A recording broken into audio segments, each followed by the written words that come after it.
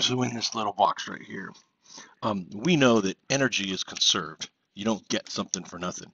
And in this case, because it's a rate of change problem, it's power that's conserved. The power on the primary side equals the power on the secondary side. Uh, by the way, this is not exactly true. There will be some losses, some resistance, some problems, but hey, what the heck?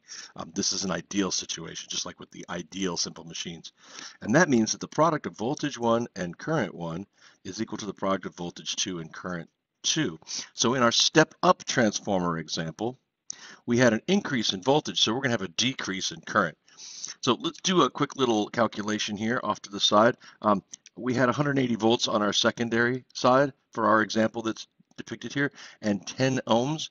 So that means that um, uh, the current is equal to the voltage divided by the resistance 180 divided by 10. That's going to be 18 amps. So over here we have 180 volts and 18 amps and that's going to equal 120 volts times I1 so I1, that's a great way to do that. I1 equals, um, ooh, I need a calculator for that. Uh, uh, 180 times 18 over 120. 180 times 18 divided by 20. Oh, no, not 1, not 20. Times 18 divided by 120. 27 we're going to have to provide 27 amps on the primary side in order to get 18 amps on the secondary side. So the current is decreasing, the voltage is increasing. Overall, the power stays the same. So we could come up with another um, example, and that would be that, that uh, the current on one times the number of turns on one equals the current on two times the number of turns. This could be a secondary transformer equation, but I prefer just to solve for the current from the voltages. There's one more little thing about transformers other than um, that, and that is that there is an associated resistance on the primary side, even though no resistor is depicted. There's a resistor depicted on the secondary side, but there is no resistor depicted here. However, the operation of the transformer acts like a resistance on the primary side, and we can figure out how much that is because we now know the voltage and the current. So the resistance on the primary side is going to be the voltage on the primary side divided by the current on the primary side. In this case, that's 120 divided by 27.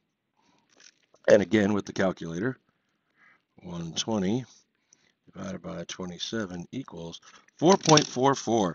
So there is a mysterious 4.4 ohm resistance on the primary side just because of the 10 ohms that's on the secondary side.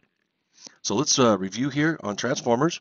A transformer is created by taking one set of windings on some sort of iron core uh, to generate a, a magnetic field and another set of windings to pick it up. If the number of wraps is different, you're going to get a turns ratio, which will tell you whether it's a step up or a step down transformer. The transformer equation says that the, the voltage steps up or steps down in proportion to the ratio of the number of windings, and the current does the opposite. Now, in practice, no one would build a transformer like this. There is too much of a chance that some of your magnetic field will actually leak out of the iron. So in practice, most transformers are built coaxially. Uh, that is to say that we would have one piece of iron and we would either wrap the primary around the top and the secondary let's have that go behind and then come across this way. There's dotted lines back here. Um, so the primary would be up top and the secondary would be on the bottom. That way the magnetic field doesn't have far to go. Or you might even wrap these things over each other. You might take a piece of iron and you could uh, you could wrap the primary wraps around and then with a different color wire, you could wrap the secondary coils on top of them. So the magnetic field really is shared between them.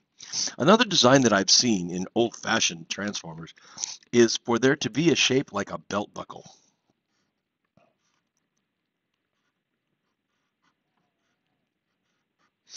And the windings for both the primary and the secondary go around the middle of the belt buckle. Those are the primary windings and these are the secondary windings.